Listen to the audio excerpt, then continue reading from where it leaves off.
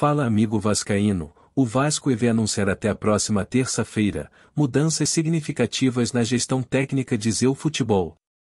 Além de contratar um novo treinador o Vasco deve assinar contrato com Abel Braga, ídolo vascaíno como jogador no final dos anos 70, fez parte do Screte campeão carioca em 1977, além de ter passagem vitoriosa também como técnico do Cruz Maltino. Mas antes de continuar com a notícia de hoje, deixe eu pedir seu like e sua inscrição em nosso canal, é grátis, e não esquece de ativar o sininho de notificações, assim sempre que tiver vídeos novos por aqui, o YouTube te avisa. Abel Braga, de 70 anos, chegaria para ser um dirigente mais voltado à parte esportiva, ligado à comissão técnica e ao elenco. A informação foi publicada pelo jornalista Lucas Moretti. O último emprego de Abel Braga no futebol foi como treinador do Fluminense, quando conquistou o campeonato carioca neste ano.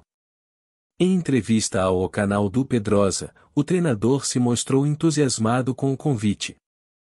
A vinda do profissional é para dar um DNA de Vasco, para que o time tenha um jogo sempre propositivo, e que nós torcedores do gigante, não precisemos nunca mais passar pelo que passamos nos últimos anos, com times medíocres, que jogavam defensivamente, sendo por muitas vezes pressionados e dominados, mesmo dentro de São Januário.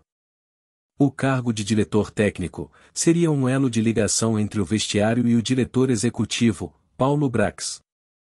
portanto Abel não teria nenhuma ingerência dentro das quatro linhas, que ficaria sob o comando do treinador, treinador esse que Abel já participaria decisivamente na escolha do nome, aliás temos informação que Abel já estaria com scout e entrevistas de alguns treinadores e que traria sua decisão já para a próxima reunião dia 22 de novembro, próxima terça-feira, quando deve ser anunciado como diretor técnico do Vasco da Gama SAF.